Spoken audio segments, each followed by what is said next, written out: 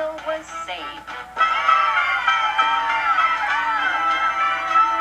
And that's the story of Dave, a really little guy who did a